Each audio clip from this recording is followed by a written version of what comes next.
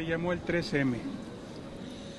El, miserable y malo. el expresidente no debería hacerse el indignado. Al contrario, los indignados somos los mexicanos, los indignados somos los panistas. México y el PAN merecen una puntual explicación. Ahora resulta que el indignado es el expresidente. No, al contrario. Los indignados somos los mexicanos. Los indignados somos los panistas.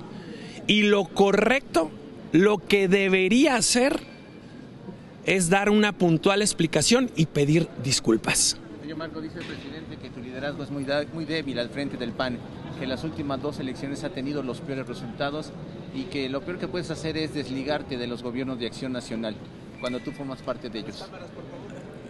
Miren, yo lo que les puedo decir es que cuando llegué a la dirigencia del partido, lo que hice fue buscar a los dos expresidentes. Uno sí se quiso acercar, que es el caso de Vicente Fox.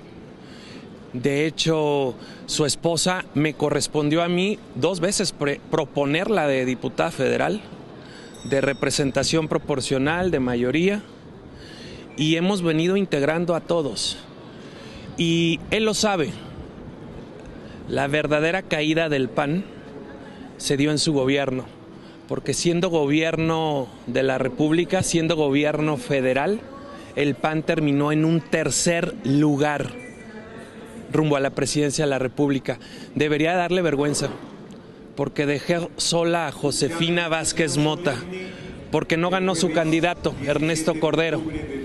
Y siendo presidente de México, haber tenido un tercer lugar y haber tenido la peor caída en la historia del PAN, porque ahí sí caímos puntos. Yo recibí el partido en 17 puntos y termina el partido en 17 puntos porcentuales. Su experiencia que regresara a México está en, está en España.